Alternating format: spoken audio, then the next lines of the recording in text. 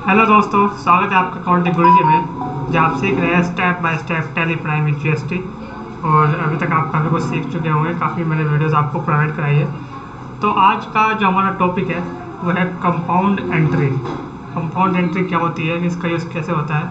What is compound entry compound entry क्या होती है?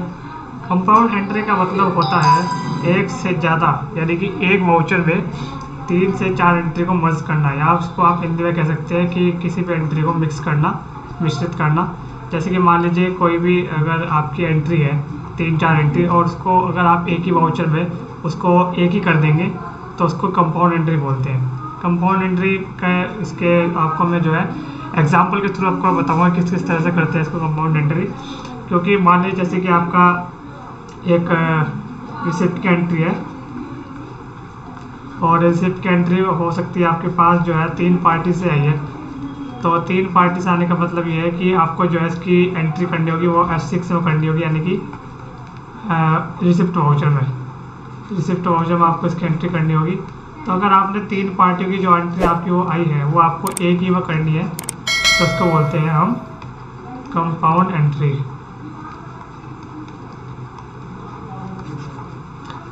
फ़िलहाल इसके लिए हम चलते हैं फ़िलहाल टैली पर और टैली पर मैं आपको बताता हूँ किस तरह आपको इसको करना होगा। तो आप देख सकते हैं कि जैसे कि मेरे पास फ़िलहाल तीन एंट्री है।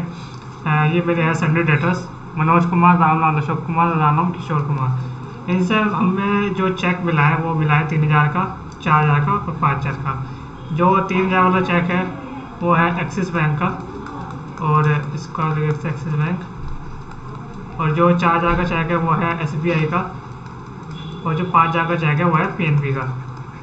तो तीन चेक उसने वो दिए। और वो इनको अगर आप एंट्री करेंगे तो आपको इनको अलग अलग एंट्री करनी पड़ेगी। मतलब आपको तीन एंट्रीज को करनी पड़ेगी रिसिप्ट वाउचर में। लेकिन अगर क्या हो कि मैं रिसिप्ट वाउचर में तीनों को एक ही साथ अगर मैं मर्ज कर दूँ, एक ही वाउचर में तीनों की एंट्री अगर मैं एक साथ कर दूँ तो कैसा रहेगा? इससे क्या होगा, इसका आपका जो है टाइम भी बचेगा और आपको अपने काम जो है तेज़ी से भी कर पाएँगे। तो चलते हैं इस पर मैं आपको दिखाता हूँ एक बार इसको रिसिप्ट वाउचर इंटरव्यूज़ की मैं दिखाता हूँ। सबसे पहले इसके रिसिप्ट वाउचर आप ओपन कर लेंगे। तो आप देख सकते हैं इसमें क्रेडिट आ गया है सबसे पहले हम करेंगे मनोज कुमार को। मनोज कराता हाउस जो है हमारा। इसको हमारे पास आए हैं, जो वो आए हैं, तीन हज़ार रुपये उसके बाद यहाँ पर आपका डेबिट हो जाएगा। इसको आपको क्या करना है? इसको आपको क्रिएट करना है दोबारा। आपको सी प्रेस करना होगा। अब सी प्रेस करेंगे, यहाँ पर क्रिएट हो जाएगा। उसके बाद आपको दूसरी पार्टी सेलेक्ट करनी है, जो है हमारे रामलाल अशोक कुमार। रामलाल अशोक कुमार को ने हमें दिए है चार हज़ार रुपये। इसका आपको रखना है। और फिर से आपको सी प्रेस करना होगा। अगली एंट्री जो है हमारी, वो है रामलाल किशोर कुमार।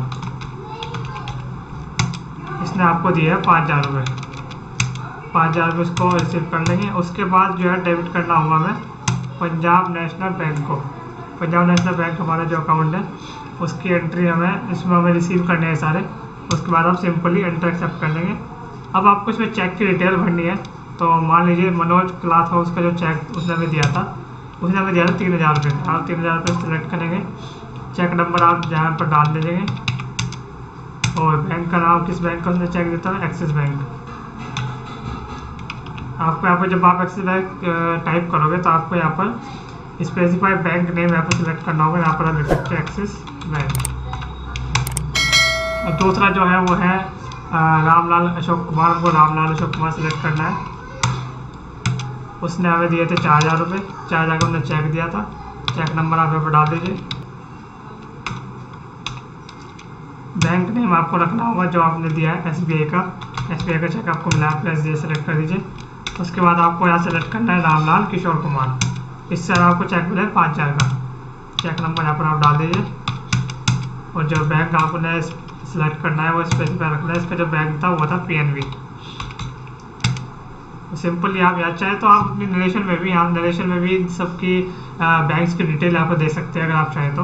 और सिंपली आप उसका एंट्री एक्सेप्ट कर देंगे। तो देखिए सिंपली आपने जो है तीनों एंट्री आपने एक ही वाउचर में कर दी। क्योंकि अगर आप तीनों को अलग अलग करते तो उसमें क्या होता है कि आपका टाइम भी ज़्यादा लगता और तीन एंट्री आपको इसमें करनी पड़ती तो इसमें आपका टाइम भी बचे बचे इसमें आपका टाइम का भी बचत होगी और वैसे भी इसमें आप अपनी स्पीड भी इसमें बढ़ा सकते हैं। दूसरी जो एंट्री है, वो भी मैं आपको करके दिखाता हूँ एक बार। हमारी दूसरी एंट्री है, वो है सैलरी और रेंट सैलरी आपने दी दस हज़ार रुपये कैश में और रेंट आपने दिया आठ हज़ार रुपये कैश में। तो इसकी जो एंट्री आपको करनी है, वो पेमेंट वाउचर में करनी होगी। अगर आप इसकी एंट्री अगर आप अलग अलग करेंगे तो आपको अलग अलग एंट्रीज को करनी होगी, लेकिन हम एक ही पेमेंट वाउचर में हम इसकी एंट्री एक ही करेंगे। तो इसको चलिए करते हैं। आपको पेमेंट वाउचर ओपन करना है, उसके बाद सैलरी अकाउंट सैलरी अकाउंट हमारे पास नहीं है, इसको क्रिएट कर लेते हैं हम। इसको आपको रखना है इंडायरेक्ट एक्सपेंस में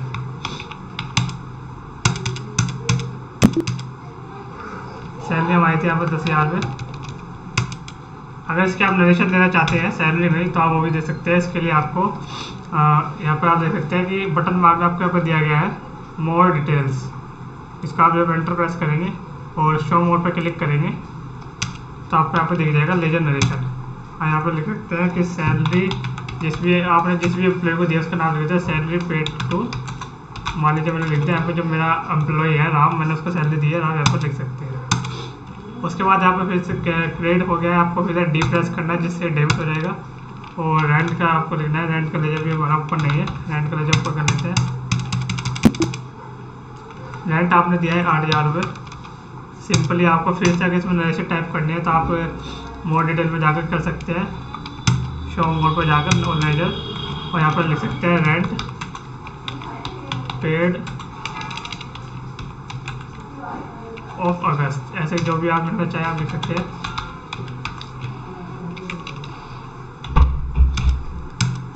और सिंपली आपको यहाँ पर कैश सेलेक्ट कर देना है। कैश सेलेक्ट करने के बाद अगर आप चाहे नरेशन में, या तो नरेशन में इसकी डिटेल दे सकते हैं तो फिर यहाँ पर यहाँ पर आप इसकी डिटेल दे सकते हैं। सिंपली आप इसका एंटर एक्सेप्ट कर दें। तो देखिए, एक ही वो में दोनों एंट्री जो भी थी, इसकी पेमेंट की, वो मैंने दोनों एंट्री एक साथ कर दी है। आप चाहे तो इसको सिंपली इसमें कर सकते हैं आराम से। नहीं तो आप अलग अलग भी कर सकते हैं अलग अलग करने में आपको टाइम ज़्यादा लगेगा और इसमें करने में आपको टाइम की काफ़ी बचत होगी। एक तीसरा एग्ज़ाम्पल मैं आपको दिखाता हूँ। Cash receive for proprietor and equipments यानी कि जो हमारा व्यापार का जो प्रोपराइटर है, यानी कि कैपिटल अकाउंट उसका होता है तो जो प्रोपराइटर है वो कुछ कैश लेकर आया है और साथ में कुछ इक्विपमेंट्स भी लेके आया है, दुकान से मतलब उसकी शॉप के रिगार्डिंग तो इसकी एंट्री हम कैसे करेंगे? अब देखिए, जो कैश लाया है, इसका मतलब प्रोपराइटर कैश लाया है तो इसकी जो एंट्री आपको पता ही सिंपल बनेगी। Cash account debit to capital account और इसकी जो एंट्री आप बनाएँगे, वो बनाएँगे रिसिप्ट वाउचर में। क्योंकि कैश आ रहा है तो कैश जब आ रहा है तो कैश को रिसीव करेंगे। तो इसकी एंट्री सिंपली आपको पता ही बनेगी cash account debit to capital account और लेकिन अब इसमें इक्विपमेंट आ रही है, क्योंकि वो इक्विपमेंट भी साथ में ला रहा है तो इसकी एंट्री आप किसमें करेंगे? क्या परचेज वाउचर में करेंगे? जी नहीं। परचेज वाउचर में तो वो एंट्री होती है जिसका आप बिज़नेस कर रहे हैं यानी कि जिस स्टॉक आइटम जो भी आपने क्रिएट कर रखी है जिसका भी आप बिज़नेस कर रहे हैं उसके आइटम उसकी जो एंट्री होती है वो परचेज वाउचर में होती है। लेकिन ये तो इक्विपमेंट रहा है एक तरह से जो है एसेट्स हो गई है। कुछ भी हो सकता है इक्विपमेंट्स कुछ भी लाइट्स वगैरह या फिर कोई आ, कुछ भी हो सकता है ये। तो इसकी एंट्री आप किसमें करेंगे? देखिए अगर कोई भी आपको मतलब कोई भी एंट्री जब परचेज में सेल में रिसिप्ट और पेमेंट में अगर एडजस्ट नहीं होती तो उसका सिंपल सा फंडा है आपको उस एंट्री को जनरल वाउचर में करना है। जनरल वाउचर में आपको इन दोनों एंट्रीज को करना है तो आप इन दोनों एंट्री को मर्ज करके एक ही वाउचर में दोनों एंट्री आप इसमें कर सकते हैं। तो देखिए, मैं आपको ये दिखाता हूँ। आपको सिंपल यहाँ पर एस प्रेस करना है। और सबसे पहले कैश जो है कैश आया है तो इसमें कैश अकाउंट का आप डेबिट करेंगे। ये आया पचास हज़ार रुपये उसके बाद यहाँ पर आपको डी प्रेस करना है। उसके बाद आपको यहाँ पर डी प्रेस करना है और एंटर प्रेस करना है ताकि डेबिट हो जाए। अब इक्विपमेंट्स का ले जाए हमारे पास क्रिएट नहीं है तो हम इसको क्रिएट कर लेते हैं।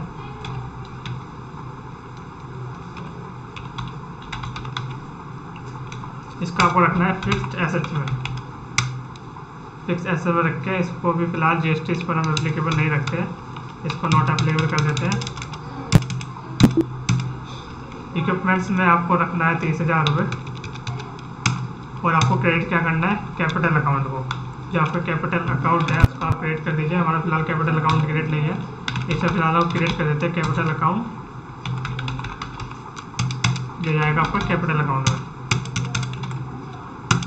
तो नरेशन में आप जो मर्ज़ी अपने अकॉर्डिंग जो भी आप नरेशन देना चाहें, इसके आप दे सकते हैं। तो आप सिंपली इसको एंटर प्रेस कर दीजिए। तो देखिए, क्योंकि अब आपको जो है, दो वाउचर की एंट्री करनी थी, लेकिन आपने इसको एक ही वाउचर पर कर दी मर्ज करके। वो भी एफ़ सेवन में। तो देखिए कितना आपका काम आसान हो गया। आप पहले रिसिप्ट के वाउचर में रिसिप्ट की एंट्री करते और जर्नल के वाउचर में इसके प्रेस की एंट्री करते, दोनों एंट्री अलग अलग हो जाती।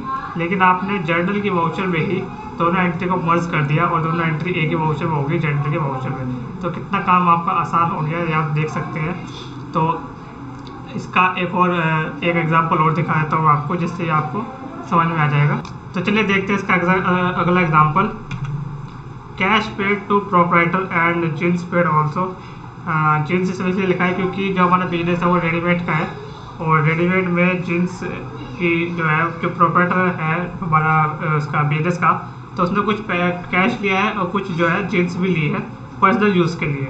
तो जब भी कोई प्रोपरेटर पर्सनल यूज़ के लिए कोई भी अगर कैश लेता है या फिर कोई जिस चीज़ का बिज़नेस करते हैं उसका पर्सनल यूज़ में लेता है सामान तो उसको हम ड्राइंग्स अकाउंट में डालते हैं। आपको पहले से ही पता होगा कि ड्राइंग्स अकाउंट में जो भी कैश कोई भी लेता है प्रोपरेटर तो उसको ड्राइंग्स अकाउंट में डाला जाता है। तो इसकी जो डिटेल है, वो कैश जो उसने लिया है, वो दस हज़ार का लिया है और उसने जीन्स भी लिया है। दस जीन्स जो है, चार चार सौ रुपये ईच चार सौ रुपये की जीन्स है सारी, दस जीन्स जो है उसने अपने पर्सनल यूज़ के लिए लिया है। अब इसकी एंट्री किसमें करेंगे? ज़ाहिर सी बात है, आपने कैश दिया है प्रोपरेटर को तो इसकी एंट्री पेमेंट में करेंगे। तो कैपिटल जो प्रोपरेटर का नाम होगा, वो capital account drawings account debit sorry drawings account को हम डेबिट करेंगे और कैश को क्रेडिट करेंगे।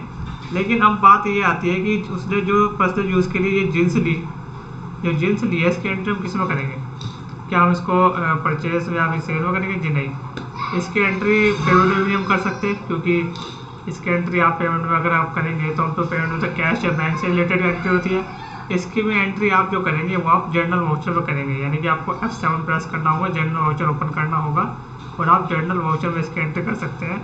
अब दोनों एंट्री को मर्ज करेंगे तो इसकी एंट्री क्या बनेगी? ट्वेंस अकाउंट डेबिट टू कैश और टू टू आप किसमें करेंगे? जींस को टू करेंगे, जी नहीं। आपको जींस को टू नहीं करना है। अगर कोई भी प्रोपरेटर जिस चीज़ का वो बिज़नेस करता है जिस, अगर पर्सनल यूज़ के लिए वो कोई भी सामान लेता है तो उसको हम परचेज में से माइनस कर देते हैं। तो जो इसकी एंट्री बनेगी ट्रॉइस अकाउंट डेबिट टू कैश तो जो टू अगला होगा, वो हमें लेना होगा परचेज टू परचेज अकाउंट तो ऑटोमेटिकली वो परचेज में से लेस हो जाएगी और जितनी भी गुड्स में मतलब पर्सनल यूज़ के लिए प्रोपरेटर प्रोपराइटर सामान लेता है, उसको हम परचेज अकाउंट में रखते हैं। तो आपको मैं दिखाता हूँ एक बार करके। अपने एफ़ सेवन परचेज जर्नल का वाउचर ओपन कर लिया। इसके बाद आपको ड्राइंग्स अकाउंट लेना है ड्राइंग्स अकाउंट ठीक है ड्राइंग्स अकाउंट इंटर करना है। ड्राइंग्स अकाउंट में ऑलरेडी क्रिएट किया हुआ है, जो आपको रखते हैं कैपिटल अकाउंट में। तो ड्राइंग्स अकाउंट का जितना भी बैलेंस होता है, वो फाइनेंशियल के एंड में और कैपिटल में से आपको लेस करना होता है इसको। तो आप इसका ध्यान रखिएगा।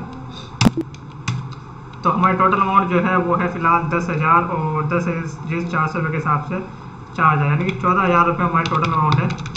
चौदह हज़ार उसको एंटर करेंगे। और यहाँ पर आपको सबसे पहले क्रिएट करना होगा कैश को, जो हमारा लेना है दस हज़ार रुपये। और फिर इसके बाद आपको क्रिएट करना है परचेज़ देखिए परचेज़ का जैसे ही आप लेजर सेलेक्ट करते हैं तो यहाँ पर इन्वेंट्री और लोकेशन आपको ओपन होकर आ गया है। आप यहाँ पर इन्वेंट्री की डिटेल दे दीजिए कि प्रोपराइटर ने क्या स्टॉक आइटम अपने पर्सनल यूज़ के लिए लिए हम यहाँ पर जीन्स सेलेक्ट कर देंगे। दस पीस चार सौ के हिसाब से। और उसके बाद एंटर एक्सेप्ट कर देंगे। तो देखिए आपकी एंट्री यहाँ पर सिंपली हो चुकी है। देख सकते हैं आप drawing account debit to cash to purchase तो दोनों एंट्री आपने जनरल वाउचर में कर दी। नहीं तो आपको एक एंट्री पेमेंट वाउचर में करनी होती और एक एंट्री आप जनरल वाउचर में करते तो आप सिंपली इसको आराम से एक एंट्री मर्ज करने, कर सकते हैं।